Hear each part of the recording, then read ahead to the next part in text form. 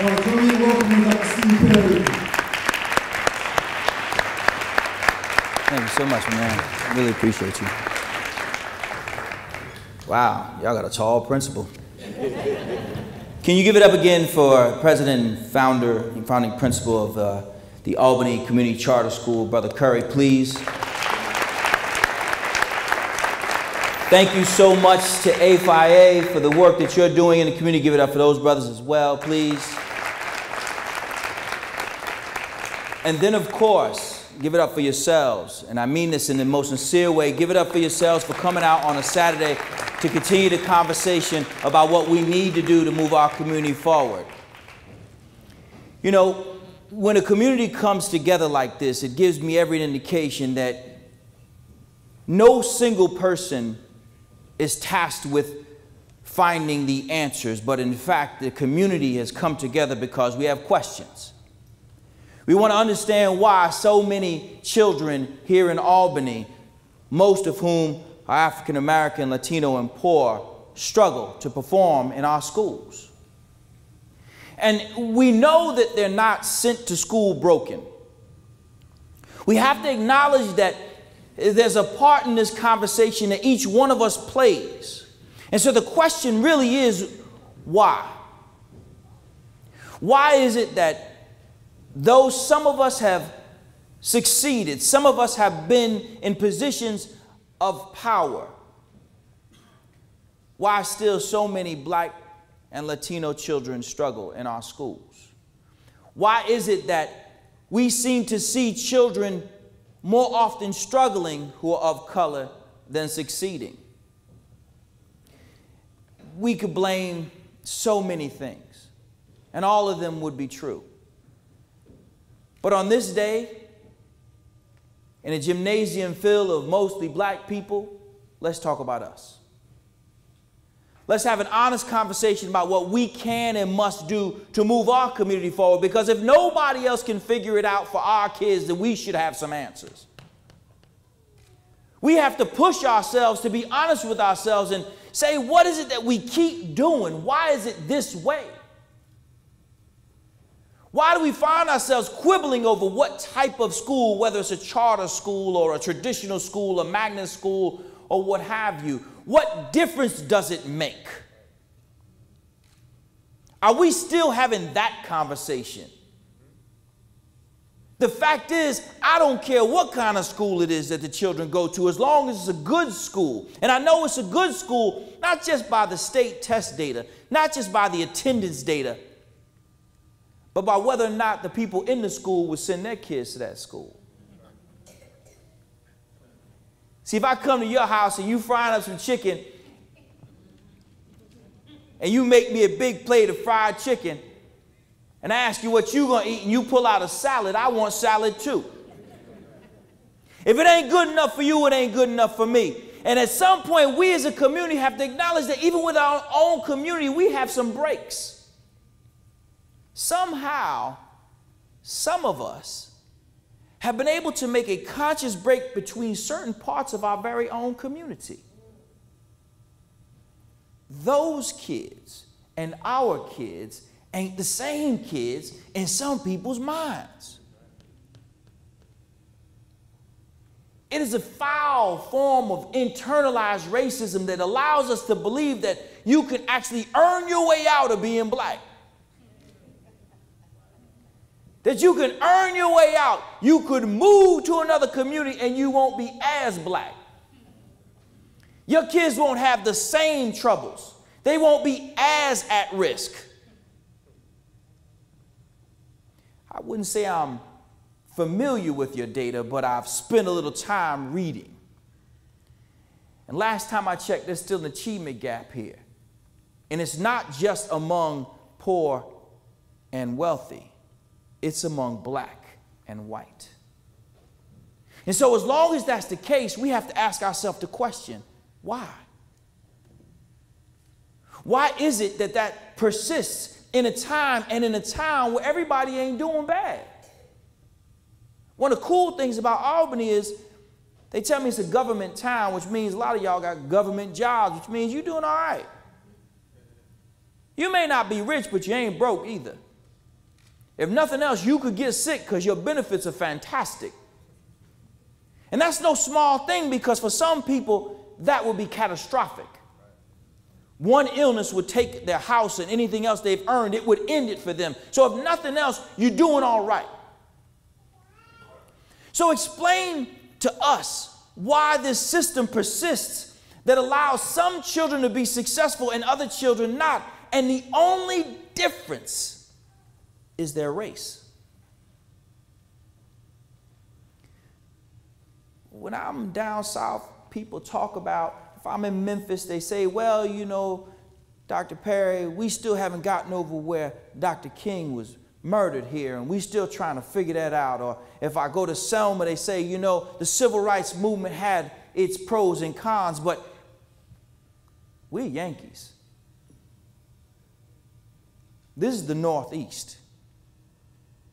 This was supposed to be the land of opportunity. This was where we were supposed to have conversations about what we were going to do and how we could move forward. Why are we in 2017 having the same conversations that we were having when Dr. King was alive? We've been taking time to commemorate his life at this point for more years, or almost more years, than the brother lived. And we're having the same daggum conversations. In his book, Where Do We Go From Here? Community Chaos, in his final chapter, Dr. King said, American schools do not know what to teach or how to teach. That's Dr. King, that ain't Steve Perry. That's Dr. King. Y'all mad at somebody? You need to call that brother.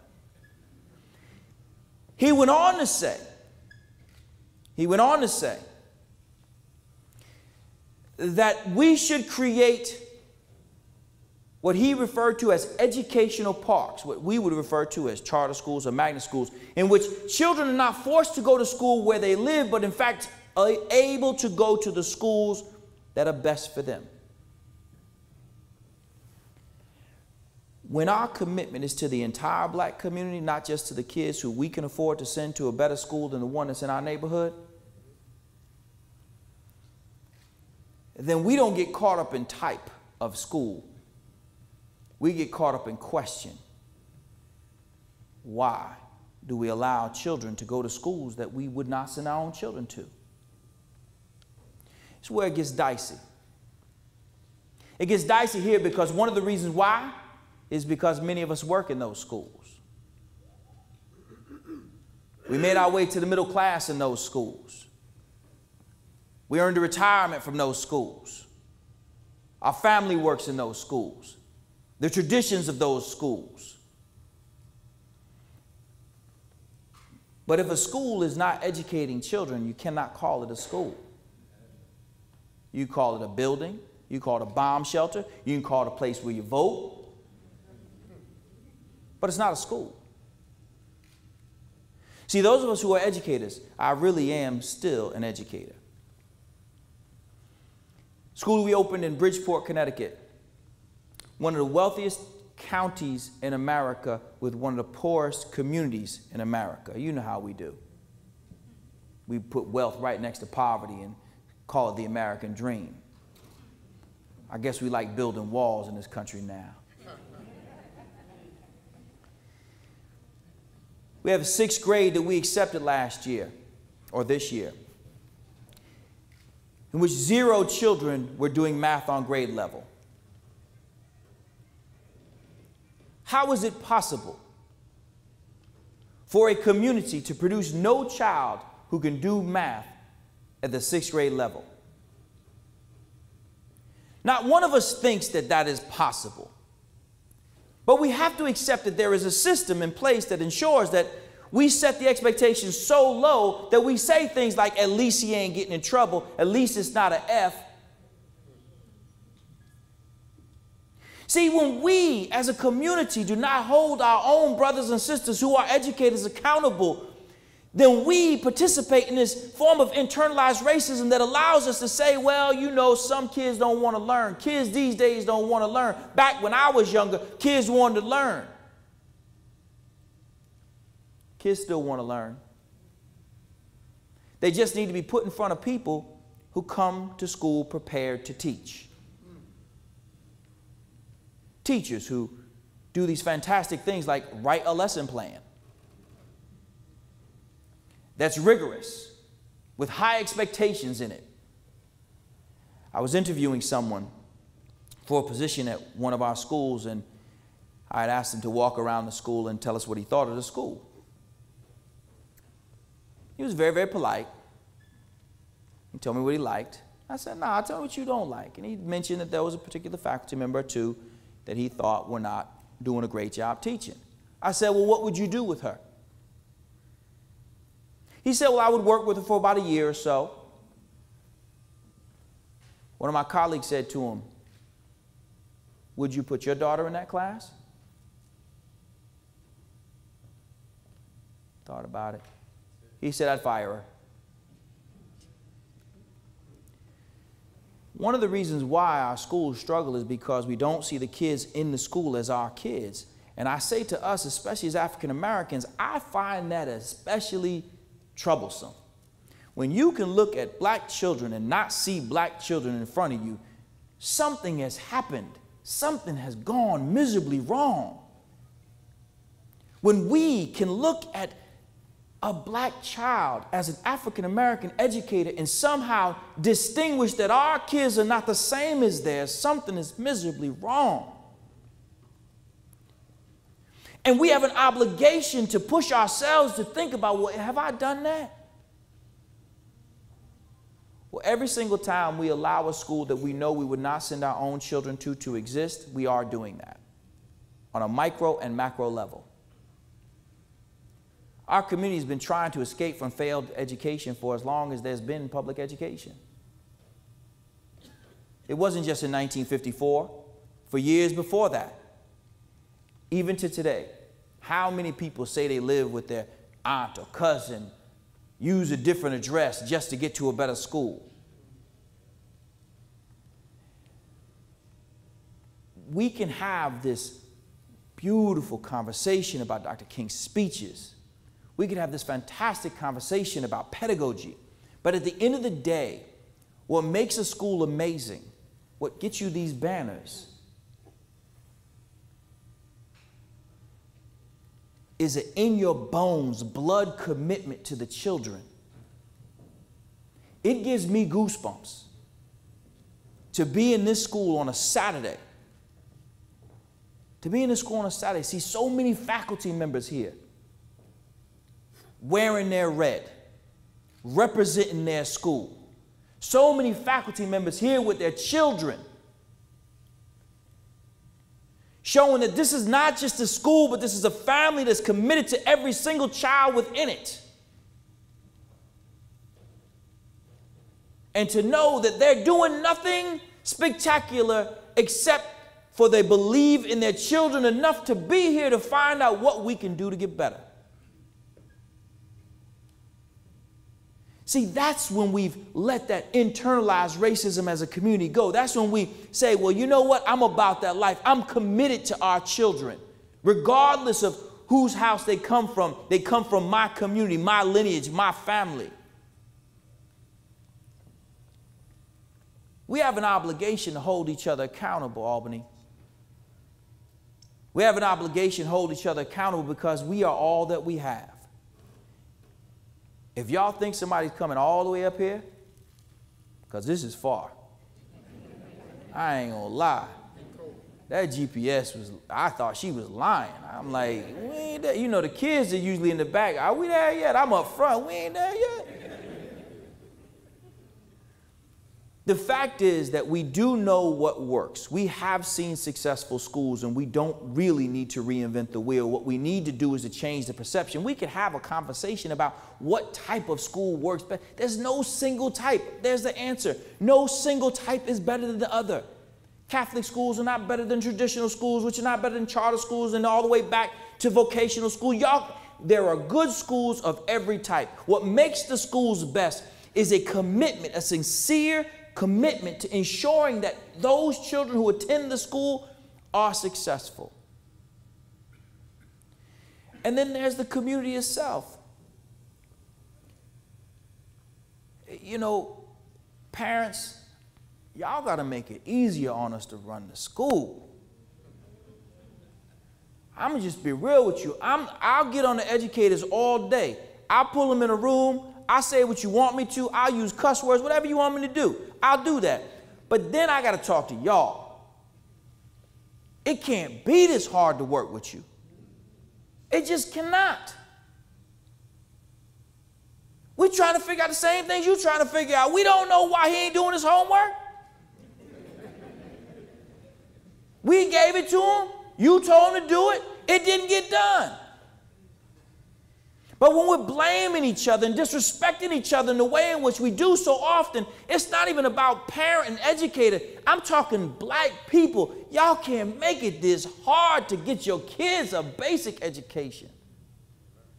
Because when we have an honest conversation, when we have an honest conversation about this,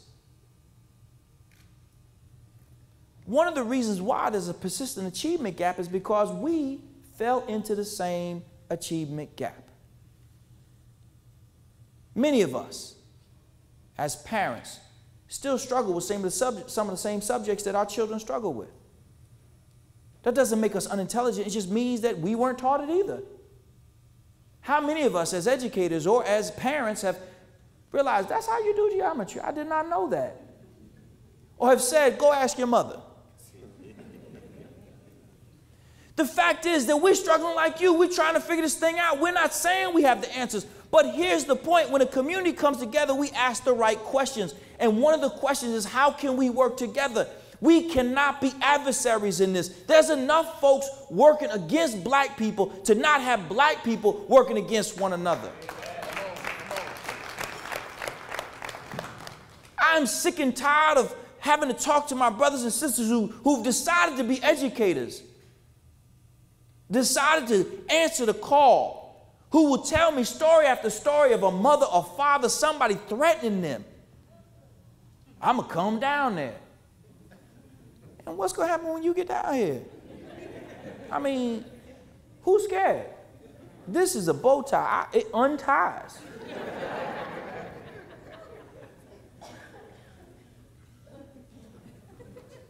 Calling and speaking in some of the most foul tones. Who talks to who do you, I'm not your man. You do not talk to me like that. We got a kid together, but not like that.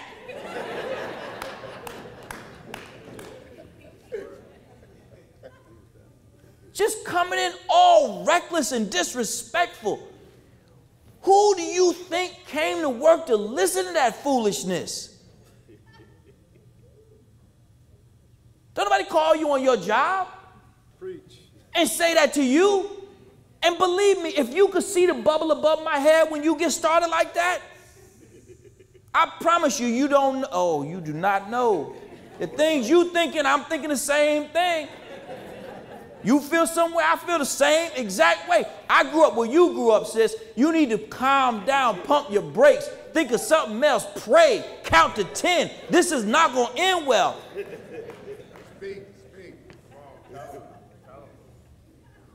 We can't get to where we need to get to when you make it so hard. You pick the school with a uniform, buy the damn uniform. All of it, from the shoes to the tie. Stop arguing with people. I can get on Albany schools. I can talk about your charter school. I can talk about everybody in there. But you can't make it this hard. They don't sell the pants in my child's size. What child is your.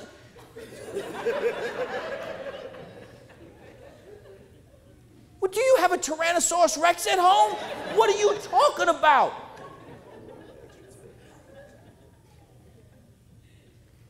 Well, they cost too much. Her nails are done. She's in the sixth grade. It can't be this hard. It, can't, it, it just can't be this hard. I recognize, and I do mean this, and I say this in the most loving way. I, school might have been hard for you, and it may not have gone as well as you wanted it to. And you were disrespected, and you were done wrong. That's true. That's true. That's true. That's honest to God true. But you have to recognize after you've done all that foolishness and come down and said all the things that you said, we still have your child. We still have your child. We're not saying we have the answers, but when a community comes together, you ask questions. Why? And we understand that you, you're scared. God knows you're scared, and you should be because you see what's happening in the streets. You're frightened because you don't know what's going to happen, but you can't make this so hard. We select certain things. You don't need to go home to Jamaica for the entire winter break. Somebody always dies right around Thanksgiving.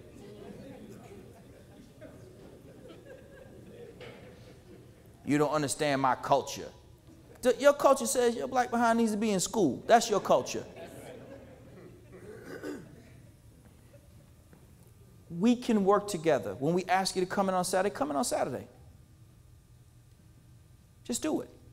If you don't understand, ask the question. In order for us as a community to move forward, we have to begin to have the honest conversations and ask the questions why and peel back the answers as to why. We are in this situation for a lot of reasons, and the system was set up to work against us. But the fact is that we can no longer blame people on the outside. We said, if just, if we just had some black people who educate us, got them. If we just had some black politicians, you know you got them. If more pastors could come together, some have. If we just had a black president, y'all had eight years of one. Now what? What else we got to do? Somebody would just let us open our own schools.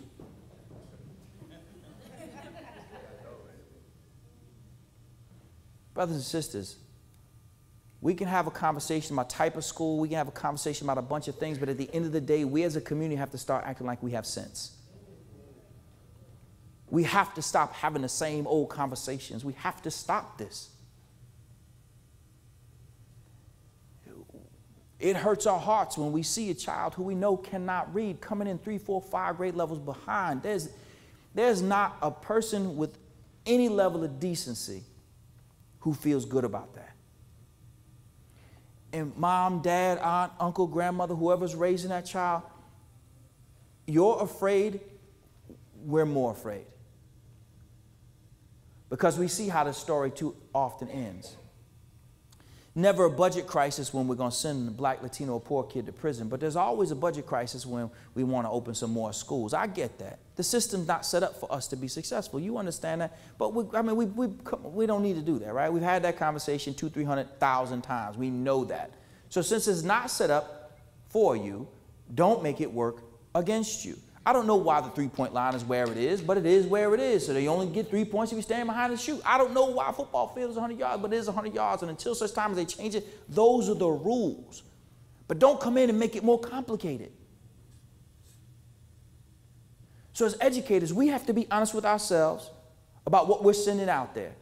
Ask ourselves, are these the types of schools that we would send our own children to? If not, do everything in your ability to change it so that it is so.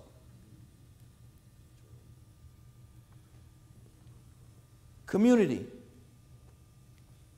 You got to ask yourself, what am I doing to help the school out?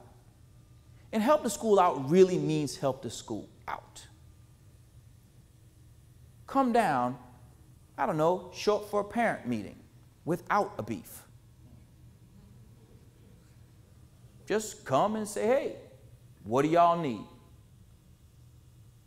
Come in and make it easier for us. Because the easier it is for all of us, the easier it will be for the children. And then in the end, there are the kids. For those young people who are here, we tired of talking to y'all too. Don't use what feels like disagreement between adults as an opportunity for you to underperform.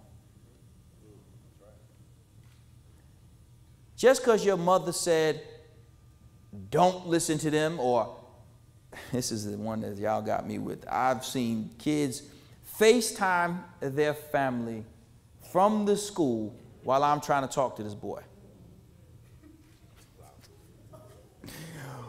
we have lost our minds.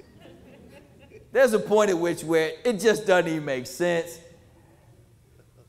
And you sitting up there on the phone, on your job, hollering into the phone to talk to me, like I'm gonna have this conversation.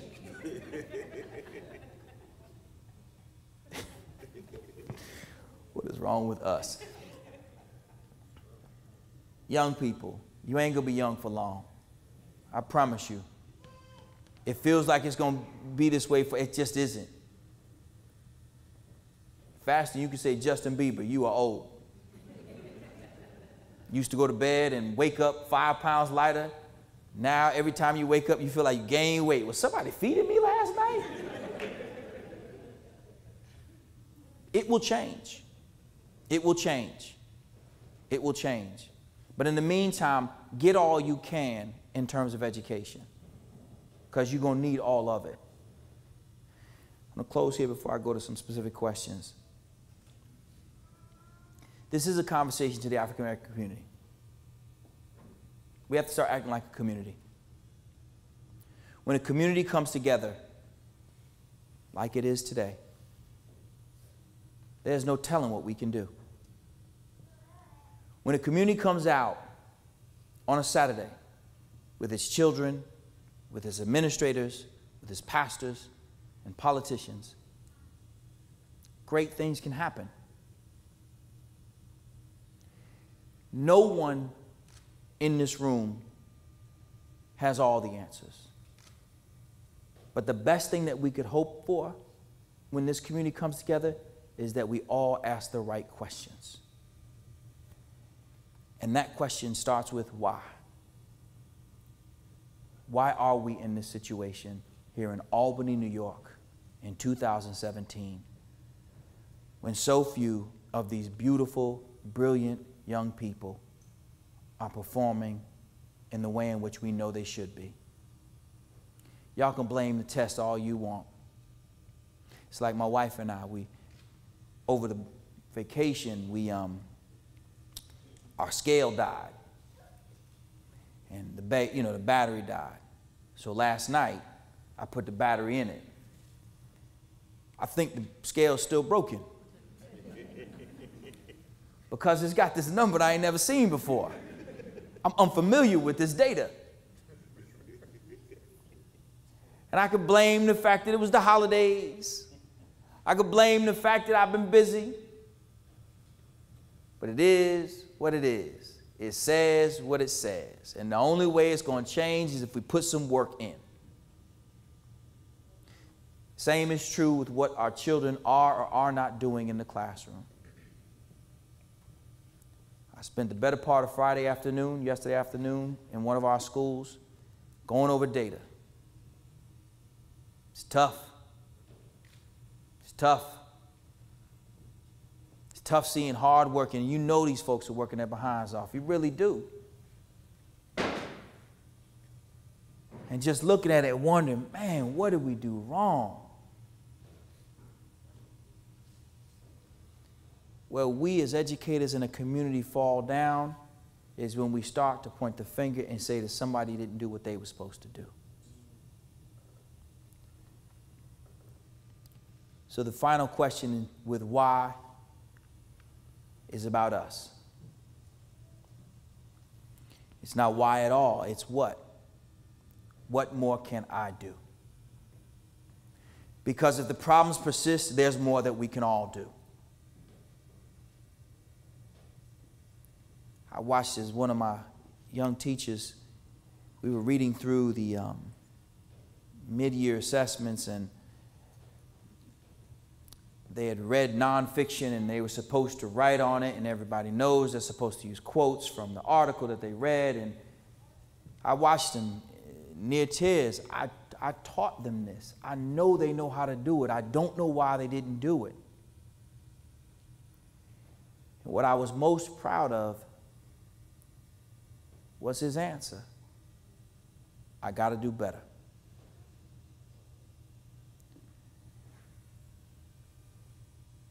So when the question is what, the answer has to be, I got to do better. Albany, thank you so much for your time and attention. answer questions.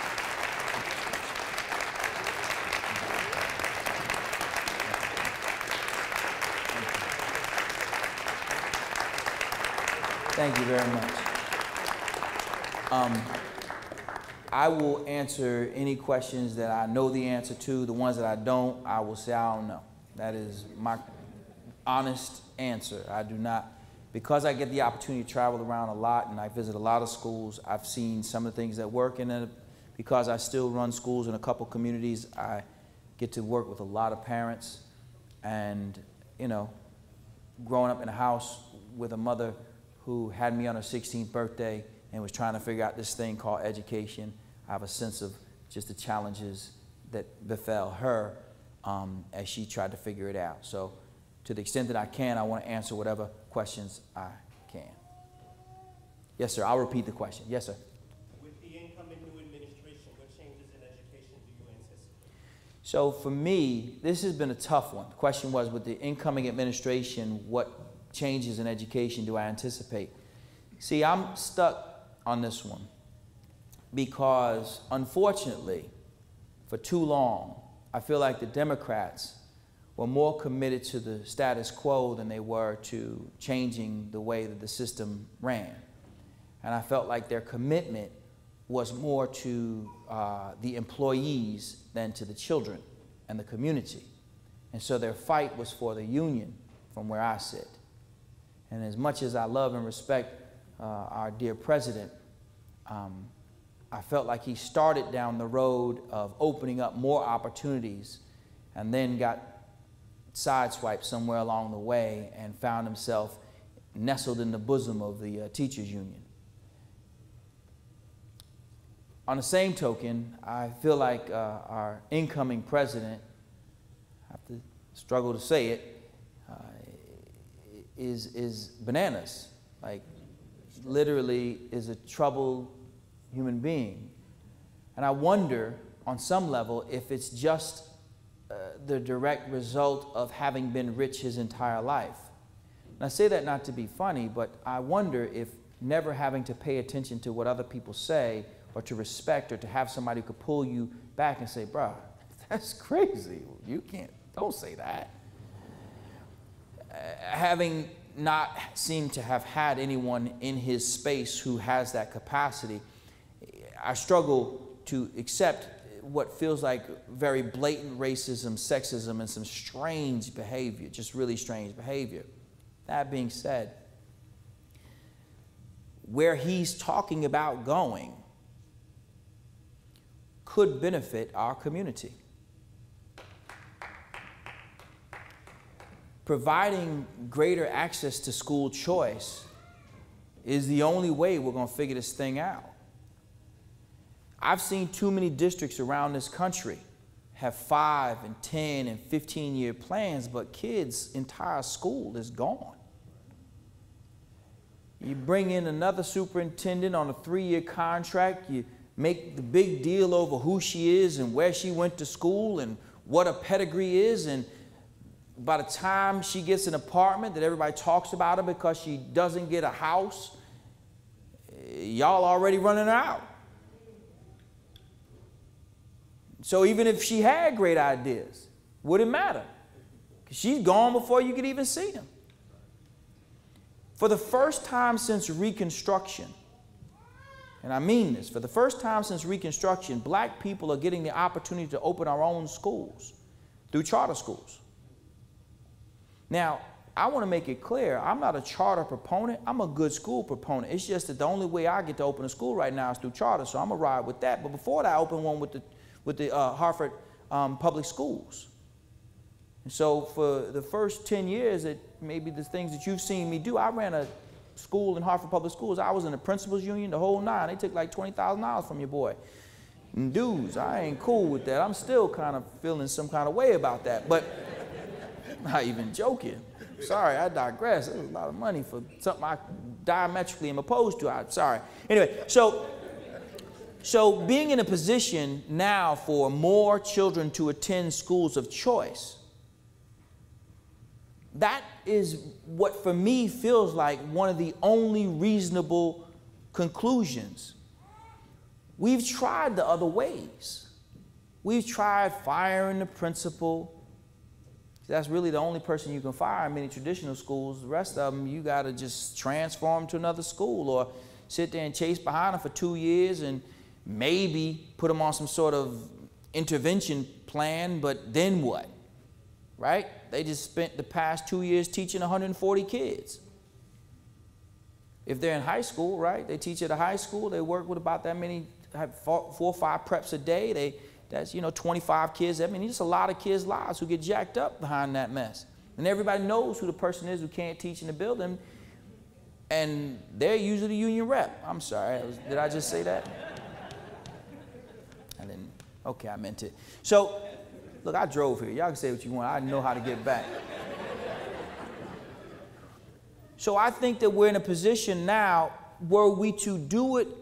See, this is this is the tough part for us. And, and I'm part of, I, I'm actually, I just starting a group of largely black people, or all black people, who are focused on education reform. Let me explain to you why. Because for so long, the education reform conversation has been a mainly white, uh, uh, we call it elite conversation, where what our role was was we get the call as the pastor or the community organizer to find some mothers or fathers to put on a t-shirt and get on a church van and read this thing that somebody wrote for them and give them a subway sandwich and send them home.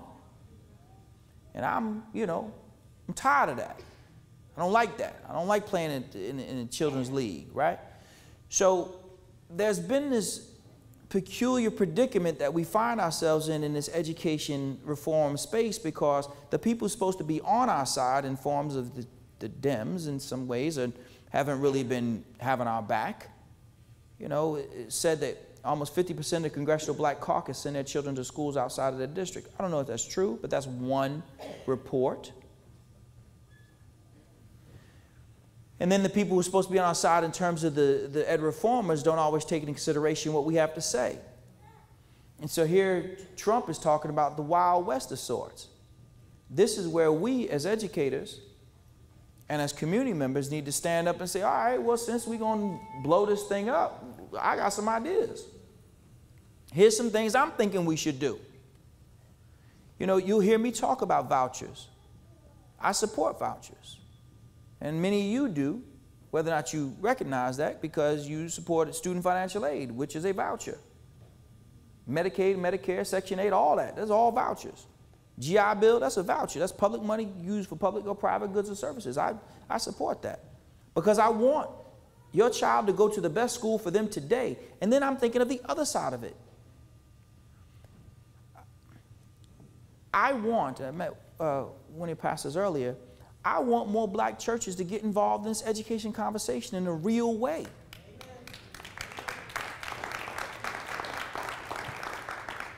And to their credit, many have tried to open either daycare centers or their own schools, but it's too expensive to run a school. And when you run in a school in a community where people don't have any money, you're trying to serve the poorest people, you end up shutting the school down or running what really isn't a school. No disrespect, but it's, I mean, you know, they're struggling to, to put together what should be a school. But with a voucher conversation, for instance, the same $15,000 per pupil that they would get to go to one of the neighborhood schools, that goes now to the organization that's running it. I'm not talking about vouchers without accountability. I'm talking about high accountability, but still providing an opportunity for educators to form schools like this. Like what? I find that even at some of the lowest performing schools, there's always this cell of educators who want to do something different. They don't go to the teacher's lounge. I'm, right? Am I saying it right? They don't hang with anybody in the school. They don't talk to anybody. You ask them, do they know somebody? I don't even know them. I just go to my classroom. I do what I got to do. Right? I coach. I do what I'm supposed to do. I, I run the after school program. I run the robotics program. I was speaking in one city, I, uh, Gary, Indiana. I was speaking in Gary, Indiana at one time. And they had a, um, an after school program that they had received funding for. And one of the people with whom I was speaking said it was working really well. He said, but they lost the funding for it, so the, the program's over. I said, um, excuse me, I said, but how long was the program? They said it was an hour. Y'all got 3,000 teachers in the district. Y'all can't figure out how to work out an hour? well, I don't, no disrespect to those people, but I don't want them to have the money. I want to give it to folks who believe this. I want this brother, I want Brother Curry and others, I want them to get more schools. I want them to get more access to children. That's what I want. I don't want to get caught up in the politics of it. If the parents want it, they got a waiting list. Why they got to wait on a waiting list? Right now, with the charter conversation as it is, if they give you 400 seats, that's all you get.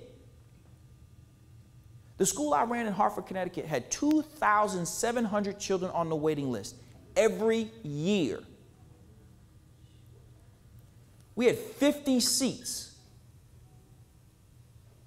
There was a school two blocks up the street in which no child in the eighth grade could read, write, and do math on grade level. Zero. We had some of the highest scores in the state and in the country. Highest college going rates in the country. You can't beat 100%. 100% is 100%.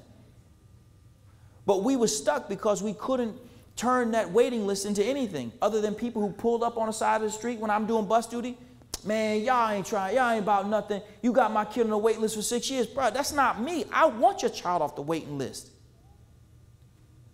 So this administration is at least giving us the head fake like they may open up the conversation. Now, don't think that I think that he's doing it because he loves black people, but I don't really care.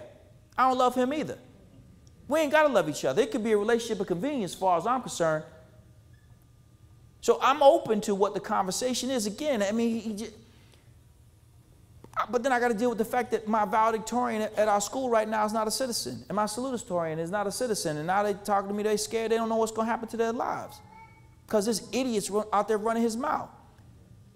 I got my own sons who are scared because they think this fool's going to start some sort of nuclear war. I mean, I, there's other parts to this administration. I want to make it clear. I'm not a supporter. And in all transparency, they reached out to our school during the uh, campaign. I passed on the invitation. That sister in, in, in Detroit took him. That was her fault.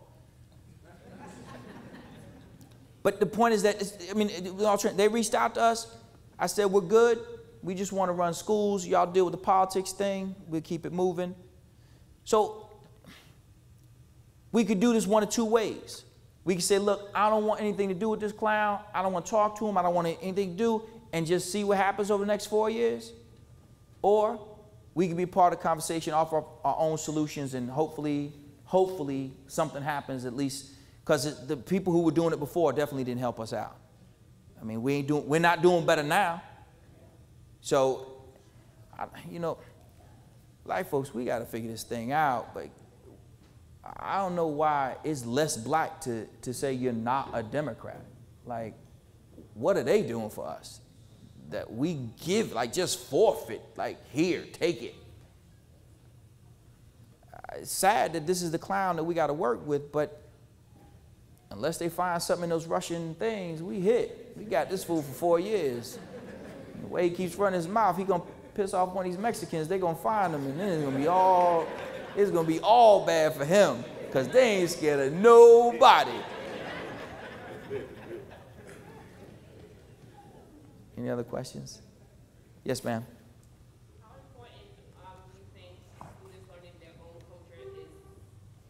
Question was how important do I think it is to, for students to learn their own culture? Well, the short answer and the easy answer is it's important. I also think it's important for people to understand that this country is our culture too. And so we should learn it in, it should be taught in, a, in its most robust way. Like, I don't understand why more schools that educate mostly white kids don't see the value in the black community enough to teach it like it's just part of the school, not like if it's some add on, right? So I think it's very important. I think the most important thing we could do for children is build their confidence up. Before there is competence, there's confidence. When a child believes that she knows how to do something, she'll give it a shot. When, it, when I met a young lady who said she's good at math, She's probably going to work. And so what was she doing when I went in there? Math. But if she thought she was bad at math, she probably wouldn't be spending time on a Saturday doing math, even if she had to. It'd be the last thing she'd do. So we definitely want to make sure we teach our children their culture, whatever that means to the family, but understanding, of course, that that for me means helping them to build their confidence up, their sense of self, their sense of pride, to know that they are not just the negative stereotypes of the African American community. Yes, sir. What can you do at home as a parent to That's one of the best questions I've ever heard. Question was, what can you do at home to help your child build confidence? You know, that's been the challenge of this generation of parents. Because this generation of parents has hit kids with the gas on a whole different level. Got people thinking that, you know, having kids thinking that they earned something that they did not earn. I've seen too many AAU coaches cussed out because they didn't let this little five foot nothing child play who didn't earn his right onto the floor.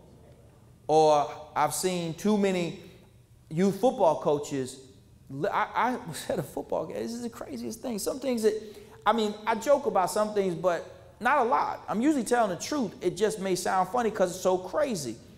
I watched a father scream threats over the fence at a youth football coach. I'm thinking, right, A, your son is 12. B, nobody paid this brother anything. He has a real job. And C, what if he turns around?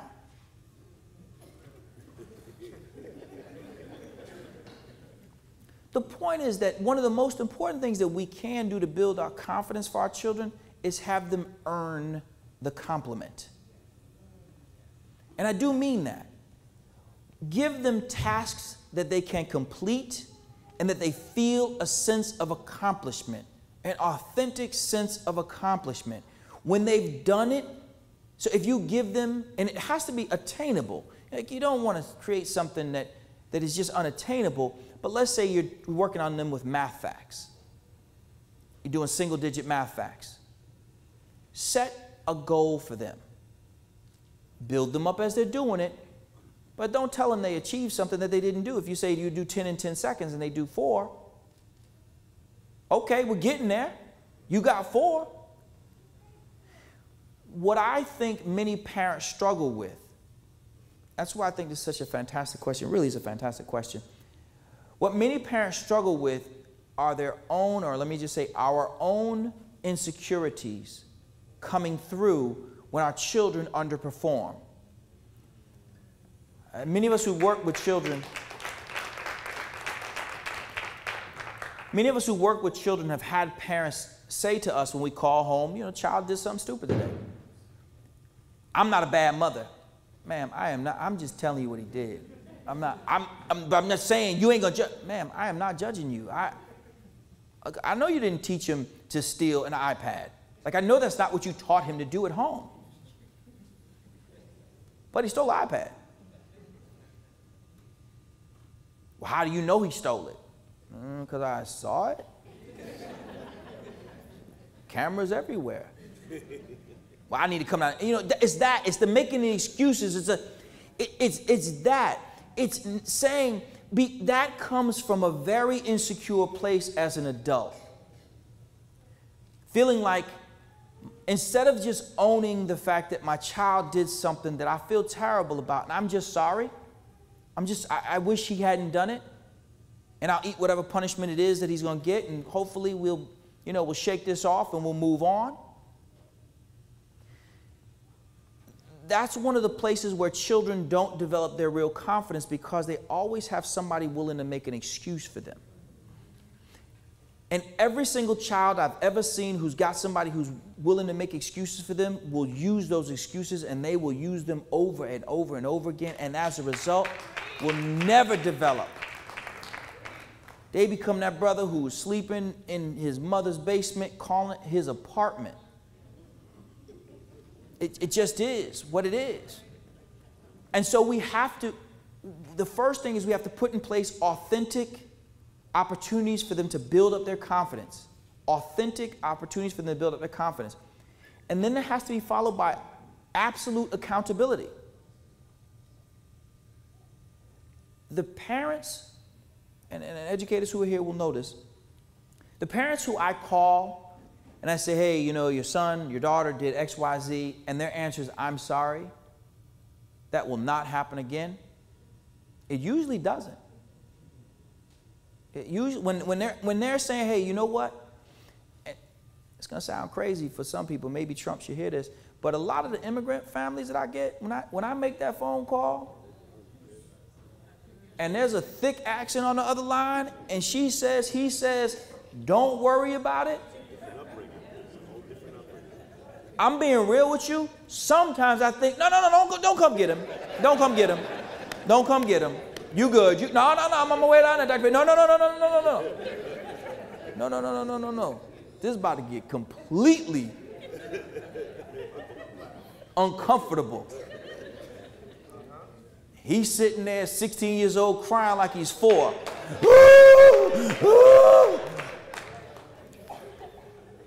but I'm telling you this, I ain't gotta worry about it again. this is a true story. This is a true story. I had a, uh, I had a, um, a first lady at one of the big churches in one of the communities I was working in. I, um, her son had done something that he was not supposed to do. Um, and let's just say that. So I, uh, I called her and I said, you know, I've known her. You know, you, it's the black middle class. There's only eight of us. So, so I, I called her and I, you know, I've known her for a while. So I, hey, you know, yeah, no, I don't want to. Can you mind coming down? I need you to come get your boy. She comes in, and I mean, she's like, she is swole. I'm like, oh God. So I'm positioning myself, right? Because I'm going to let her get the first couple in free. I was like, oh, stop. Please don't hit him no more. Please don't. Stop.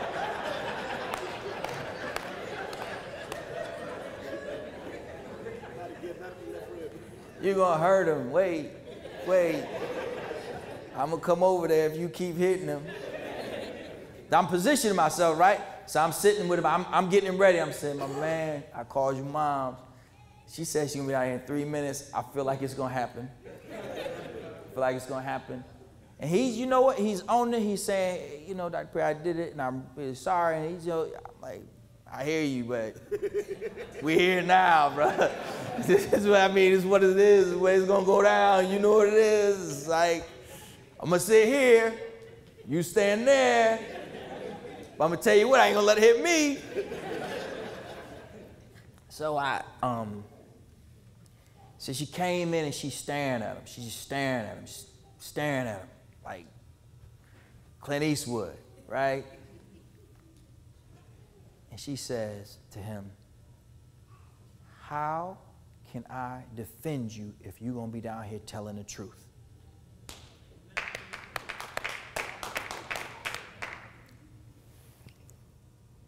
I thought, well, that wasn't what I was expecting to happen.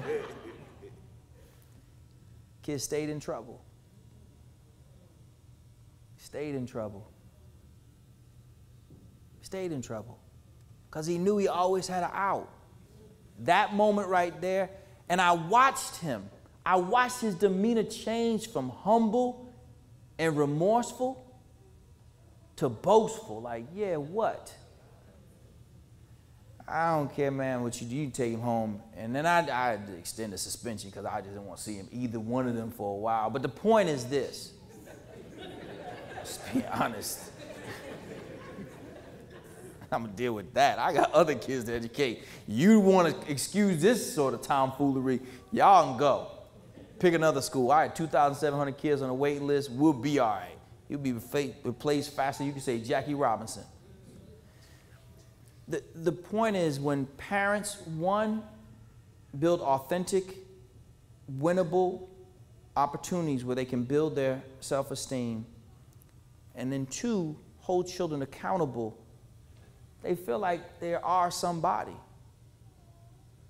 Eh, where we've gone wrong is we've felt like we've had to overcompensate for our own feelings.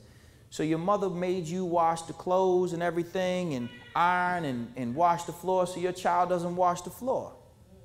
You know, iron. How many times have I had to sit down and talk, mainly the mothers in this situation, about you have to give your son chores. He's going to live somewhere at some point. He should know how to wash something, including his own behind. I mean, you're not doing him a favor. Yeah, but when my mother was bringing me up, you know, I had to do, babysit my younger brothers and sisters, and I, yeah, how'd that work out for you? I'm doing all right. Well, that's why you're doing all right, because you learned some responsibility. So the final part of it is they have to have a meaningful role in the house, a meaningful role. How many times have I had to sit and negotiate with a mother or father about a child washing dishes? He don't do it right. There's a way to do it. Is there a technique? Wax on, wax off. I mean, it's just dirt. I mean, it's food on a dish. This is low level stuff here. We're not, we're overthinking this thing, sis. Like, it's just got to get off. Well, he's got his own job. No, he doesn't. He goes to school. So we have to set the expectations high. Those kids who come from homes where there's a structure, there's a time when they go to bed, there's a time when they wake up, they got things they're supposed to do. I don't care if you put a checklist on a door. These things matter. Those of us who work with children, who see successful kids, will tell you it's all the same. You know, we sit and talk about people like Tiger Woods' father or Michael Jackson's father or Venus and Serena's father and how they were on them. Well, I mean, look around. This Tiger Mom situation. Anybody who's raising a child who's very good at something that they didn't just come naturally, and most of the things that our kids are good at, they didn't come naturally, they picked them up. It's because there was somebody pushing them to do it, and there was a certain rigor and expectation. Then their confidence is built. That little boy who can shoot jumpers, he knows he can shoot jumpers, and he may miss four, five, six, 17 in a row. He'll shoot until he starts hitting. We can build confidence by giving them the opportunity to show that they can do it. And when they have got that confidence, it's awesome. And it's real confidence. The kid who has real confidence, we could tell the difference. They, we, y'all know the difference. The one who's running around telling everybody how good he is or something, he usually not. Every kid will tell, I'm good at basketball. You probably ain't. Because if you were, you wouldn't be sitting there telling me. All right. Uh, yes, sir. Um, might be a kind of a crazy question, but you ran a. How is your parent involvement? how do you increase that if it's been there at all? Like, how do we get past that little bubble? Question was, how do we, first of all, in our schools, how do we do with parental involvement? And um, how do we increase it? Um, it wasn't good. It wasn't good. Uh, you know, in that video, you saw a football game, you saw those stands. That wasn't after the game, that was in the middle of the game. I mean, I hated senior nights. I still hate senior nights. And those who work at a high school know what I'm talking about. Senior nights suck. You know the mothers ain't coming. You know the father ain't coming. You know it. I mean, you just know it. And, and you got to find some, some staff member to go walk this little crying boy or girl down. This, I mean, while everybody, cheerleaders sitting there, they got the things posted, you know, like right, they walking down and it's like, come on, man. Like you, you, one game?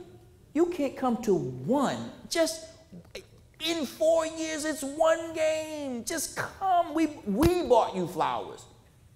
We bought them for you. We bought you flowers and put the boy's jersey in the thing.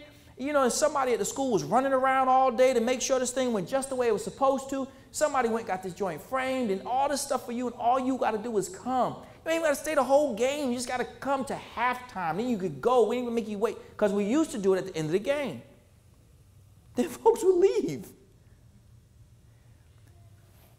That's part of why I'm saying the things I am, man. We got we got to do better.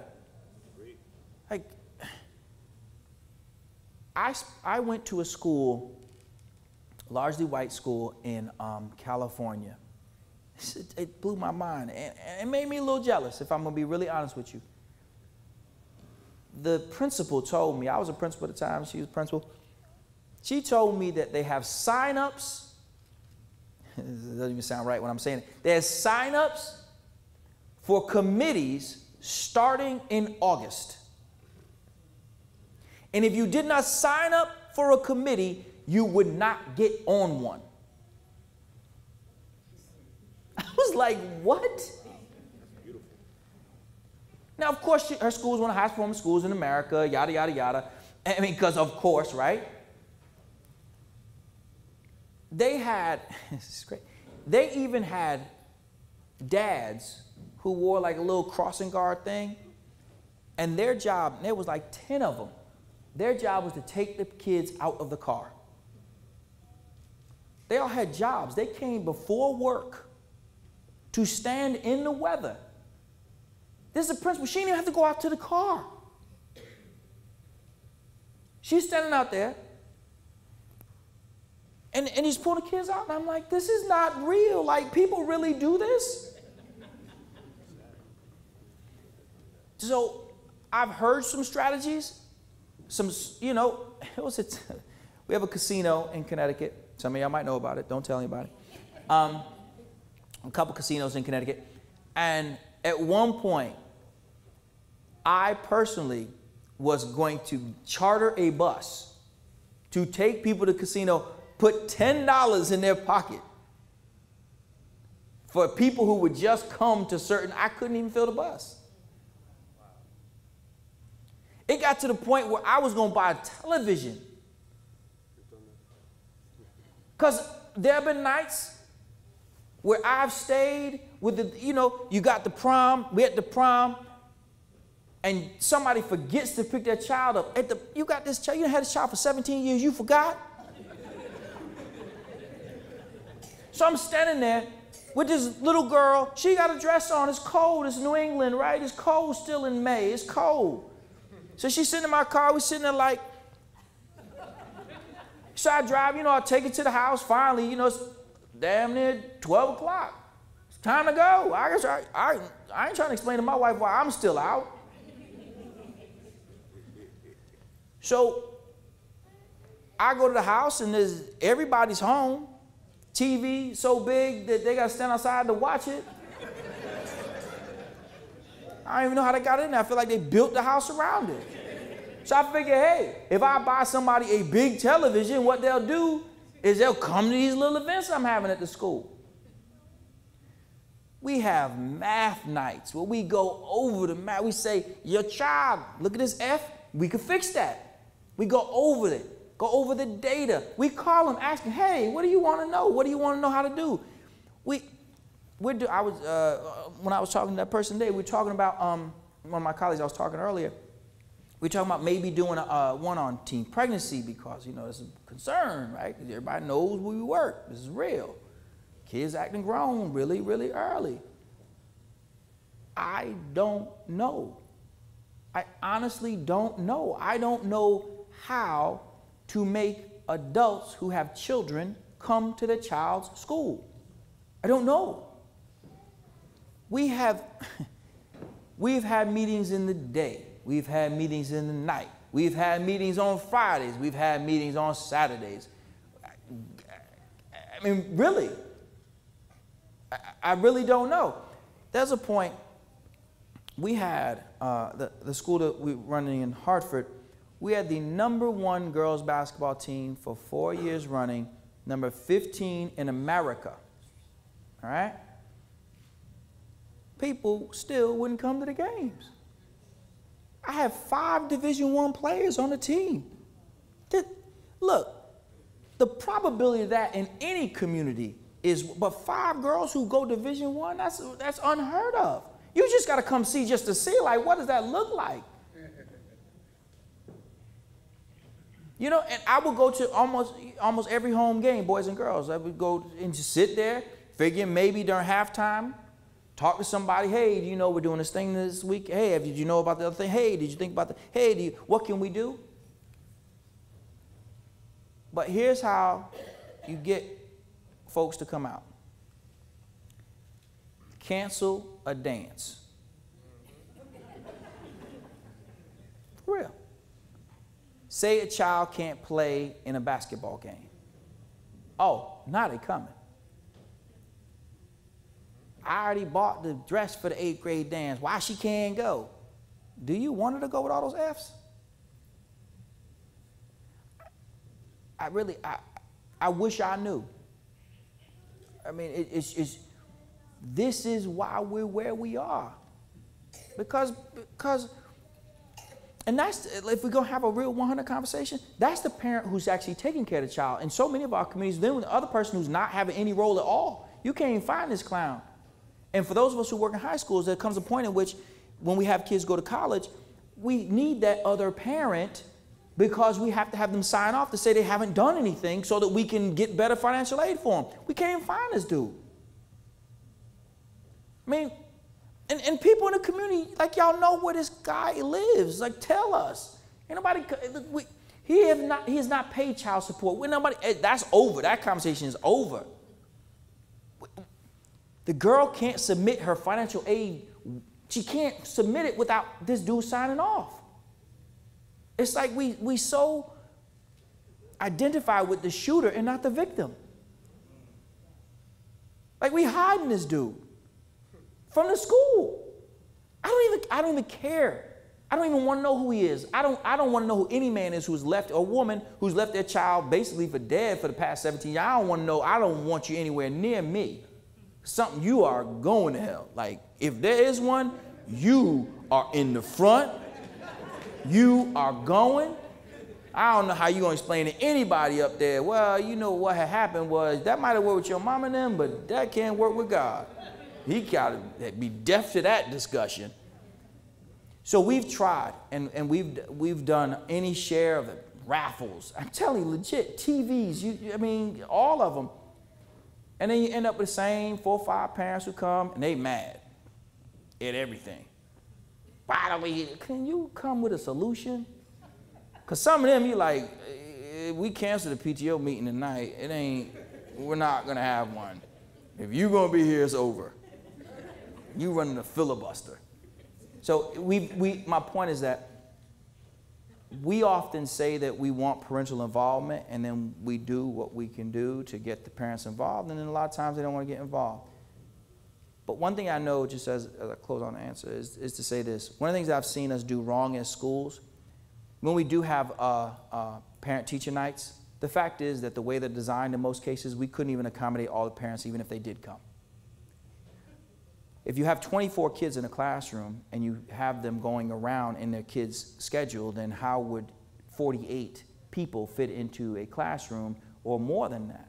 60, almost 60 people, how would they fit if the kids just came and then each of them has a parent? You're talking about almost 70 people in a classroom that could barely hold 24. So, something that we've done that has gotten us the most traction is we have advisory each kid is in a small group. I don't know if you guys have it. Some schools have it, some schools don't. Everybody has a different version of it. So there are a couple things that we've done. We have what we call student-led conferences. Instead of handing out a uh, paper um, report card, you have to come in to get your children's grades. And what the child does is she, he stands up in front of you and they go through what they've learned through the, with their advisor. So we actually get very high uh, parent involvement on that because the advisor is the person who contacts the home every two weeks. So she's the teacher who calls the home and tells you how your child is doing and does so for the duration of the child's stay in the school. So in that way, we build a relationship. But to get the parents to come in mass is a, is a struggle. The most we've had um, at our school that said 250, we had 30 parents come out one night. That was the biggest we've ever had. Um, but typically, um, in our school that had 700. Uh, talking about 15, maybe. I, I'm, I'm stretching it because my wife is one of them. Because my kids go to my school, I wouldn't open a school that I wouldn't send my kids to. So if you count my wife and I as two parents at the school, it's maybe it may be 12 and a possible. Yes, ma'am.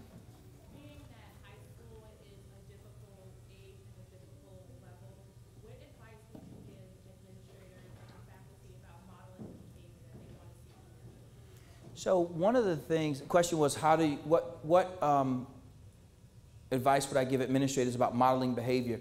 That's very, very important. Your staff's got to follow the same rules. Like if you have a door that says in, and you want students to go in that door and out another door just to handle traffic flow, then everybody has to go in that door.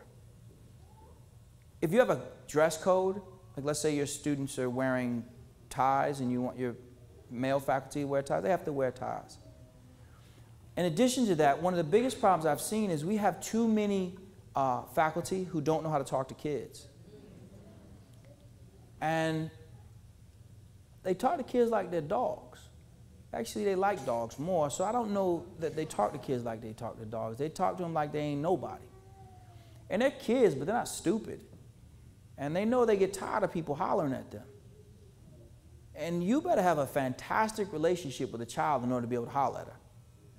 I mean, a really, really like amazing relationship with that child to be able to raise your voice. And so modeling behavior starts with them being respectful human beings. You got to come in and be respectful. You can say to a young man, son, I need you to take that jacket off. You don't have to yell down hard, take that jacket off. You could correct somebody, just pull them in real close and tell them what you need to tell them and not embarrass them in front of their friends. Or if you're in the dining hall and you got somebody doing something, you pull them over to you, you say, you know what you got to say to them. You go back over there and tell everybody what I just said if you want to, but you're going to look like a clown. People have to. High school, in many ways, is no different than the lower school because these kids want just as much direction and affection as anybody. I can't tell how many times big gigantic boy will stand right next to you. Like, why you stand next to me? You stand next to me. You just want me to hug you, don't you? Nah, I want you to hug me, Dr. Perry. Don't touch me. You know you want me to touch you. They're just kids. They're just kids. They really are kids. No matter how they act, no matter what they say, no matter what their home life, they are children. And in many cases, they would love it for somebody to let them just stay a child a little bit longer. One of the problems when we work in the hood, if we're going to be honest, is the gestation period for our children is so short. It's, it's, it's, it's so abbreviated. They don't get to be kids. Those of you who are, uh, you know, those of you who are raising middle class kids, you know, sometimes you, you like me, you get tired, like, man, come on, man, grow up. But these kids, they, you know, they're growing up so fast that they don't really want to grow up that fast. They want to be kids a lot longer. Uh, you know, our kids see things differently than other kids. They get to be kids so much longer. So, one of the things that we can do with our older students is set expectations and keep them. They need them. They really need somebody to let them know you are a child, like for real, and, and, and let them know. I, I see people get thrown off when they see the size of a child. So they see this big, gigantic child, and they think that they have to talk to that child like they're talking to a grown person. That is a child. I don't care what size it is, it's a child. And the same way that you would talk to one that's, you know, in kindergarten, the same way, not to, you understand my point, that you are the authority figure. You understand my point. You're the, the authority figure. And an authority does not have to mean you're an ogre. It just means that you are establishing rules and that the rules have to be followed. The rules have to be followed. And, and, and that's not up for discussion. We're not negotiating this. When kids are in my office standing, which is what they do because they ain't guests. I don't want, it's not a comfortable, like, you should not be in my office. We ain't colleagues. Like, we're not working on lesson plans here. I ain't got tissue in my office. I ain't got candy in my office. No, this is not a comfortable place. It's so funny, too, because some of my colleagues and, are former students, and they come in and still stand up. No, no, no, partner, you can sit down now. You work here. But the point is that they need to understand that you are in charge. And that's important because when our kids, in particular, the ones who live and breathe in urban areas, they need somebody to protect them. One of the reasons why so many teachers fail is because when they're in class, everybody knows they're not in charge. And when they're not in charge, the kids are thinking to themselves, so hold on, I'm gonna let these kids talk about me any old way? And then I got to go home with this? Nah. I'll fight in this classroom before I get beat up out in the street. So we have to establish expectations, but it all starts with love. Kids have to know you genuinely love them, like you really do love them. Love, and you use the word love. Not the soft kind of like, like I love you so much, I'm not gonna let you mess this up for yourself. That backed by actions be at their games. You know, you know somebody's not going to go to game. And the kids will tell you, they hear you in the stands. They know, they know, they know. I don't care how many people, they know their ears are tuned. They can hear their principal, they can hear their teacher, they can hear you. And they will tell you, Miss, you out there losing your mind. Yup. Come to a game in your school colors, right? Be hyped to see them. Go to something that they invite you to at their house. And I mean that sincerely. I'm not, if that's odd to you, then you'll never be excellent at this. That's what a community school really is. That's what it should feel like. We shouldn't feel like some overseers. I don't care what color you are. If the kids don't believe that you believe in them, if they feel like you come into Albany and boogie out as soon as you can, then I don't care what you think you're doing with curriculum. They are not going they need to see you. They need to see you in the community and recognize that you believe in them, that this is what matters to you. You don't have to be, you know, so often we think we need black teachers. Sometimes we need black teachers. I'll take good. I don't care what color they are. Because I will fire a black person in a minute. I don't care. Well, he's a black male who's teaching science. He will be a black unemployed male who used to teach science. He better teach like his life depends on it. And I guess that's what I'm saying when the kids see you, when they know that this matters to you, like it's this is what you are, there's some of that other stuff. Of course, that look, there's the one to two percent of the school that will take up 98% of the air in the school. Like we all know. And uh, look, I love all kids, I don't like all of them. I'm just being real. I tell their parents, your kid is not likable.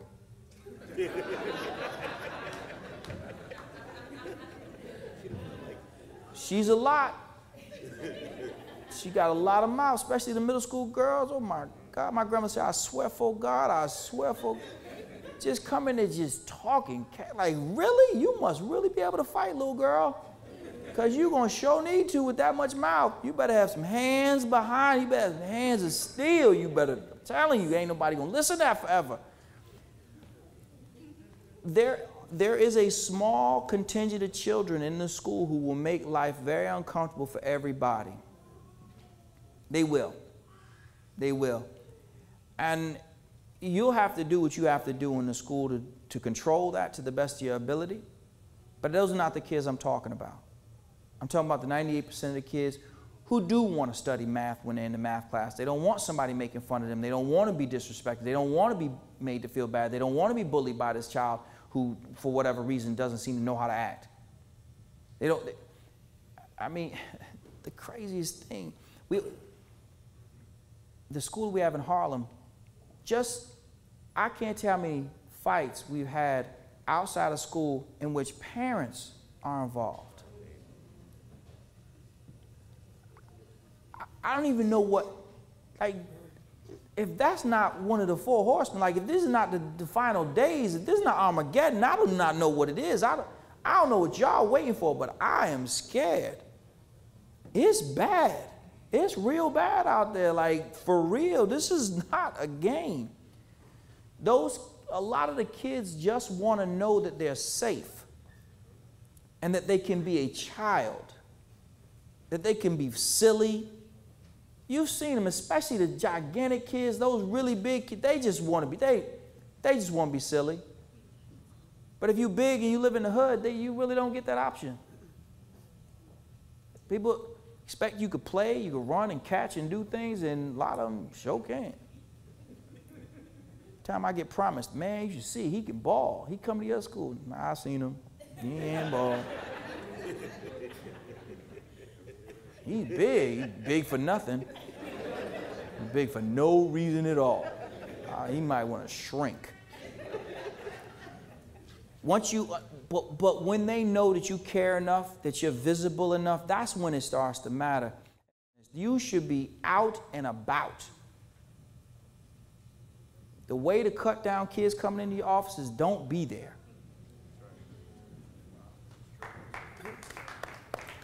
As much as you can, circulate, get in the classroom. Don't be. How many times have you heard from a student, Miss, I wish you were here all the time. She don't never teach like this.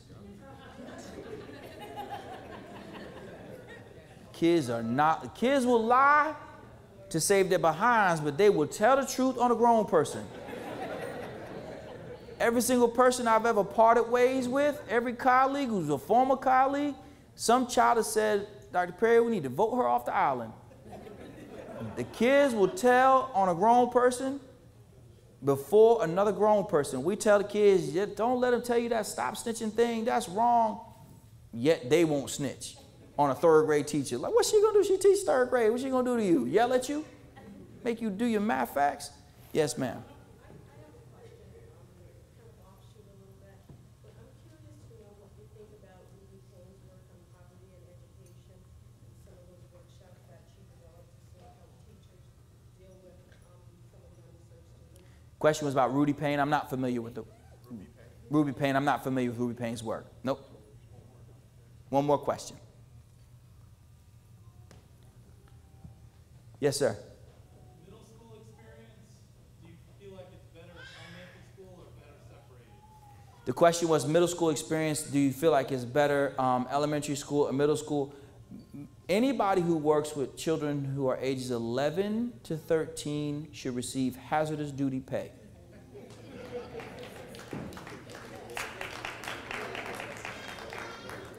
I don't care what color, I don't care what community, because I'm telling you right now, there are parents of 11 to 13 year olds who are just trying to hold it together.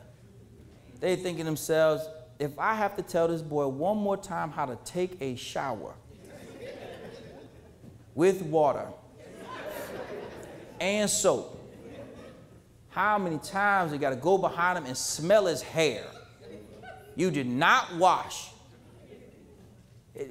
Or middle school girls who might just be the meanest human beings on earth. I ain't never met people meaner than them. Just like it is 7 a.m. Who are you mad at? You walk to school by yourself. You ain't even got a cell phone. Who were you talking to that got you this jacked up? You stand in the doorway, go to greet him. Good morning, beautiful. Hi. That's all I get. I called you beautiful. You can't even pierce your lips to say hi, thank you, nothing. Thank you. So I don't know that there's a distinction. I've done it uh, both ways.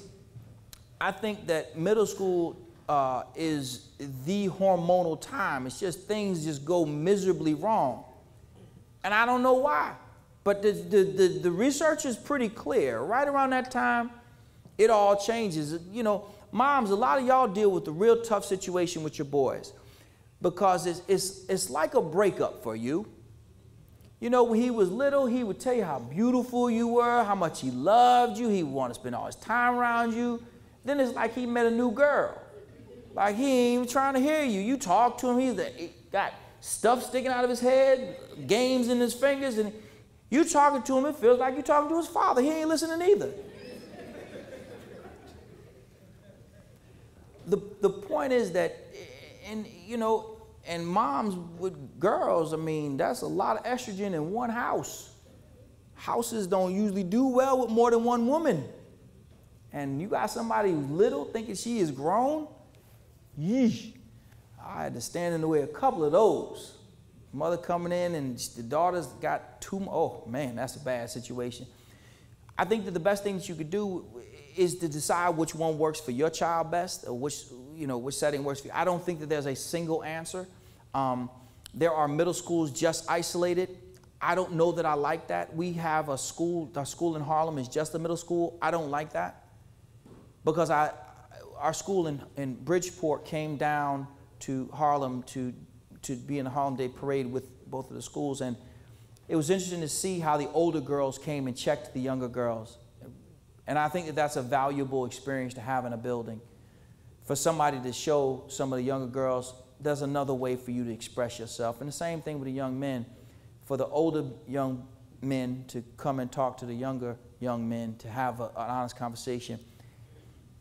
I actually prefer having middle school being the beginning of the school if I have to choose it, as opposed to the end. Me.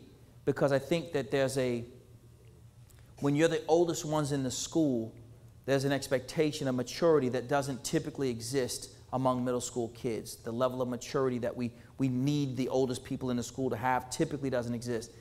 On the same token, are there fantastic K 8s? Amazing ones. Amazing K 6s. amazing middle schools, blue ribbon middle schools. They're every version. Mine is a preference. For us, it's a preference. I'll do the one quick last question, and I got a book. Yep. Student involvement in decision-making processes. So the question was about student decision making decision making process. You know, in, if you go to many of the elite private schools, they have a pretty significant role in the decision making. In many urban schools of any type, children have virtually no voice, if, if they have any voice at all. We may give them a student government in which they can vote whether or not to have a dance, but not anything much more than that. In some of the elite private schools, you'll find that children actually fill out uh, some form of, of, I don't want to call it a, a, a, um, evaluation, but an evaluation of their faculty, just like you did when you were in college. They do the same thing. I think there's something to be said for that.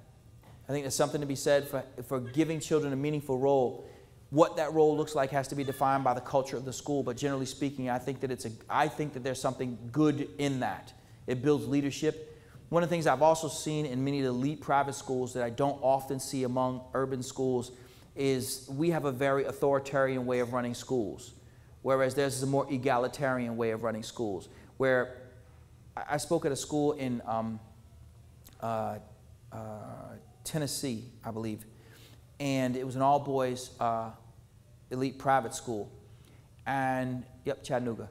And what I found so impressive about the school was that the faculty and the students, of course, because they live together, right? It's a, it's a private school, it's a boarding school, but they spoke to each other like they were both, uh, they, I don't want to say peers, but that there was a certain collegiality that was there, which interestingly enough may have lent to the fact that there was fewer discipline issues in that same setting because the kids were expected to act a whole different way.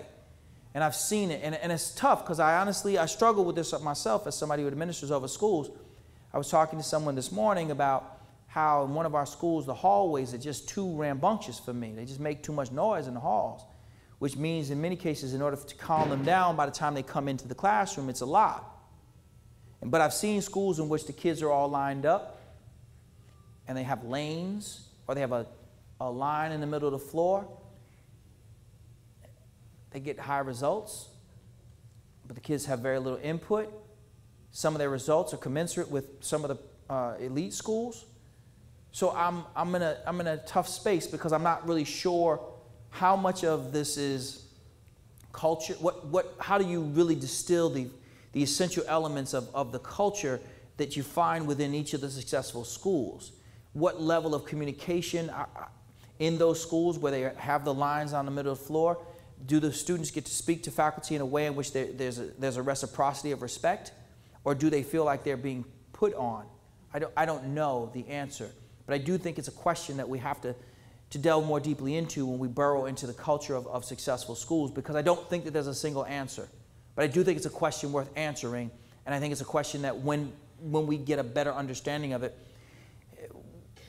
more black and Latino children will go to college unafraid of asking questions and talking to professors and feeling like they can do that because that's one of the problems that we suffer that we send, we send our children off we spend so much time trying to get them to, to mind to listen to submit to authority that when many of them the best the people who submitted best now go off to college because those are usually the ones who make it through our system. Those who, who, who will not buck the system, those are the ones who take it and get to college. And then they get to college with students who don't, who have no problem asking questions and questioning the professor. So the professor says some slick stuff, and the student says, I don't really agree with that, Professor such and such. Whereas our students will look at them and be like, Are you out of your mind? How dare you do that? So there's, there, there are residual effects of us not finding a way to meaningfully engage our children in the administration of the school. That's real. That's real. But I don't know that there's a single answer. It's, it's, a, it's a question I, I've never gotten. So thank you for, for asking the question. And, and it's a question that I don't think uh, we've even begun to answer because we've spent so much time on dealing with these really pedestrian, almost embarrassing academic issues like how do we get a parent to come to a parent meeting or how do I get a parent to come and pick her child up who's suspended? who's saying they're just not coming. And the kid's done something at 8 a.m. And they're not they're literally not gonna come. So we spend so much time dealing with that and dealing with the fact that they can't read, write, and compute, and dealing with the fact that they want to get them to act a particular way so they can take on appropriate um, academic behaviors. That this stuff over here, that'd be an awesome conversation to have. I'm sure all of us would love to have a conversation about shared governance and meaningful uh, engagement of students on that level. And maybe the point is that we start there. I don't know. But I got this kid over here who just slapped fire out of another child, and I need to get him to go home and I need to get this parent who's out here cussing at me on the phone off the phone so I could try and get in the classroom so I could observe to make sure this teacher who was supposed to have done the lesson plan that was written up for her, literally written up for her with the complete assessments and the like, she could read it like a script, who for some reason has decided she ain't gonna read it today because she got something else. She's gonna just freelance, call an audible or whatever. It's a little harder to get to this part which I very badly, God, wouldn't it be awesome to be in a staff meeting where we're having a conversation about how to get the students more involved in the governance of the school, right? Than to deal with, so Miss Such and Such, can you explain to me why you didn't do the lesson plan that you were given? And why, Mr. Such and Such, why you think it's okay for you to say you're going to leave your 11 year olds here all day just because you ain't coming to get him because he, that's his fault he got suspended? Or not be able to contact the person. I don't know how people get these phones where they can just switch the phone numbers because my phone number's been the same since I had a phone. And I got to pay $250 to get rid of mine. So I don't know how they doing this. So spending the better part of the morning just trying to find the adult. Literally. Am I saying it right? Literally spending three, four hours trying to find an adult, calling people who I know some HIPAA thing, somebody's gonna get me for this because I done called people in the neighborhood, like, can you go knock on his door? True. Or drive to the, uh, to, to the job. Call it. Well, can you can you go get him, please? That will be awesome. Can't wait to get there. So looking forward to it. I really mean that. I'll, I'll grab you afterwards. Really mean that. I would love to do that. We're not. We in our schools are not there yet.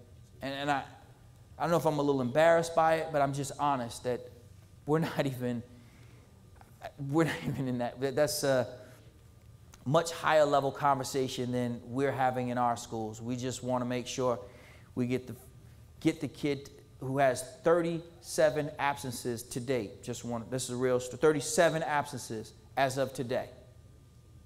37 absences. I'm trying to figure out why ACS won't jump in here.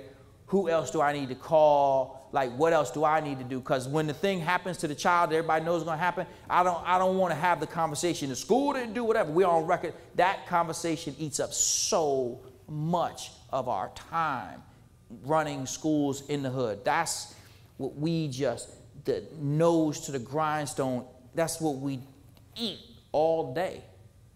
It's just a whole bunch of gravel dealing with that. So that these amazing, I got, when I went to that school and I saw those kids like that, I'm like, man, how dope would this be? To have my kids sitting here and having a, a conversation with a lecturer that we just brought to campus and they just go off in the dining hall and have a separate conversation and they just have the trust to just go. And then no one had a pass.